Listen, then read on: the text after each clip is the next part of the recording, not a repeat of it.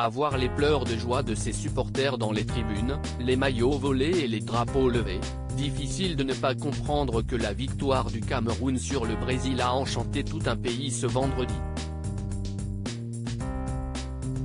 Grâce à un but d'Abou Bakar, finalement expulsé pour avoir retiré son maillot, les Lions sont en effet venus à bout de la Célestin rendant leurs fans fous de joie. Et même si ce but n'aura finalement pas été suffisant pour se qualifier pour les huitièmes de finale, il y en a un qui l'a bien fêté, Siesti Joa Lucanoa, fervent supporter du pays où vit désormais son père, l'ancien sportif et chanteur Yannick Noah. Un pays d'où vient également son grand-père paternel, Zachary, décédé en 2017, et toute sa famille, et qui revêt une importance toute particulière pour lui. Est d'ailleurs la raison pour laquelle il avait convié tous ses amis pour regarder le match, et pour laquelle il s'est montré euphorique lorsque le ballon a finalement trouvé le chemin des filets adverses. Hurlant en story sur Instagram, il semblait tout heureux et même sorti ensuite pour fêter cet exploit.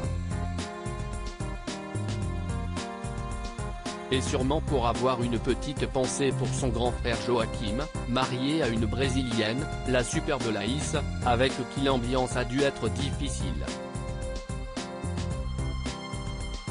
Joa Lucas, une année chargée pour ses 18 ans il faut dire que même si les enfants de Yannick Noah vivent éparpillés dans le monde entier, Joachim vit à Miami, Yelena à Hawaï, et les cadettes, Elijah et Jeunet un peu partout en raison de leur métier de mannequin, ils sont tous attachés au Cameroun, où le vainqueur de Roland Garros 1983 a récupéré le poste de chef du village de son enfance.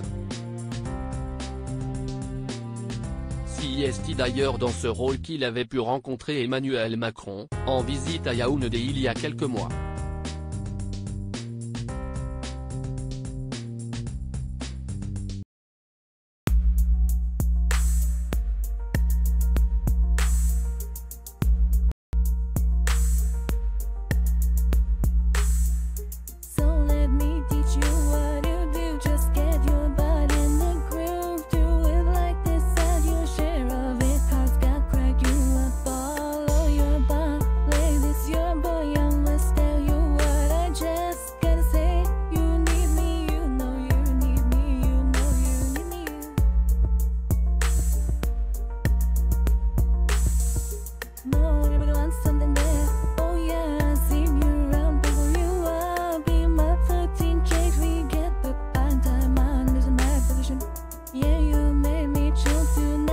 my life.